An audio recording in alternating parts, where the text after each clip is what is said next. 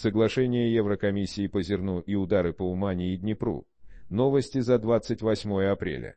В пятницу, 28 апреля, российские войска нанесли ракетные удары по Днепру и Умане, а Еврокомиссия договорилась со странами ЕС по украинскому зерну. Детальнее о том, что произошло вчера, в материале РБК «Украина». Война РФ против Украины украинские военные ликвидировали за сутки 540 российских солдат.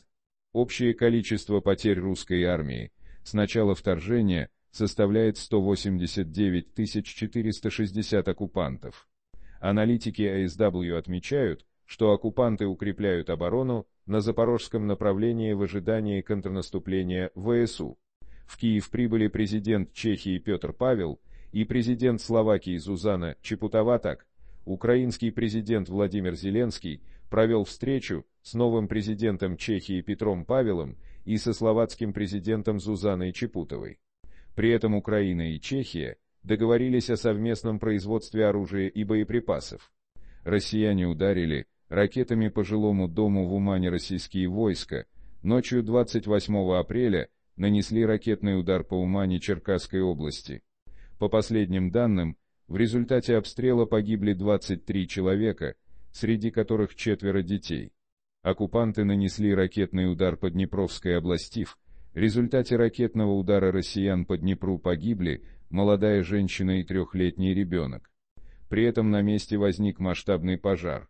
Российские войска нанесли удар по объекту энергетики в Донецкой области во время массированного обстрела, который Россия совершила 28 апреля, было зафиксировано попадание в один из объектов генерации электроэнергии в Донецкой области. Враг совершил артиллерийский обстрел, в результате которого было частично повреждено оборудование, сообщили в Министерстве энергетики Украины. Министр обороны Германии назвал сроки поставки, Украине 80 танков «Лепард-1» по словам министра обороны Германии Бориса Писториуса, поставки 80 основных боевых танков «Лепард-1» в Украину начнутся в середине 2023 года. На этой неделе началась подготовка более сотни украинских военных. Он напомнил, что в марте Германия доставила в Украину 18 современных «Лепард-2А6» и 40 боевых машин пехоты «Мардер», а также другие пакеты помощи, включающие срочно необходимые запчасти и боеприпасы. Нашли решение. Еврокомиссия договорилась со странами ЕС по украинскому зерну Еврокомиссия введет запрет на ввоз украинской пшеницы, кукурузы, рапса и подсолнечника. Следует отметить, что запрет на импорт этих товаров составляет 90% всего импорта из Украины. Она вступит в силу 6 июня, когда закончится нынешний режим беспошлиной торговли с Украиной. В то же время страны-члены ЕС отменяют одностороннюю блокаду. Украина получила от Дании артиллерийские установки Сизер министр обороны, Алексей Резников заявил, что Украина получила от Дании самоходные артиллерийские установки Сизер, и они уже стали на боевое дежурство.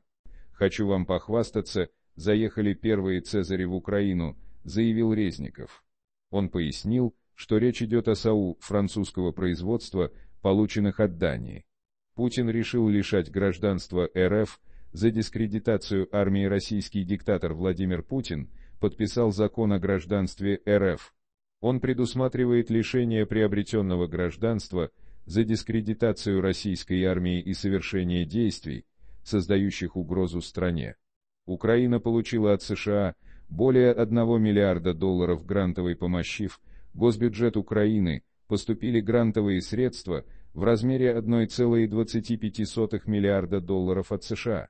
Финансирование предоставлено через целевой фонд Всемирного банка в рамках четвертого дополнительного финансирования для проекта «Поддержка государственных расходов по обеспечению устойчивого государственного управления в Украине». США передали Украине датчики радиации для обнаружения ядерных взрывов, НИТ группа поддержки ядерных аварий, управляемая Агентством безопасности, работает с Украиной над развертыванием радиационных датчиков, обучением персонала, мониторингом данных и предупреждением о смертельном излучении. Издание пишет, что сеть атомных датчиков разворачивается по всему региону, и будет иметь возможность охарактеризовать размер, местонахождение и последствия любого ядерного взрыва. Развернутые датчики не дадут РФ нанести ядерный удар по Украине и остаться непричастными. Срочные и важные сообщения о войне России против Украины читайте на канале РБК «Украина в Телеграм».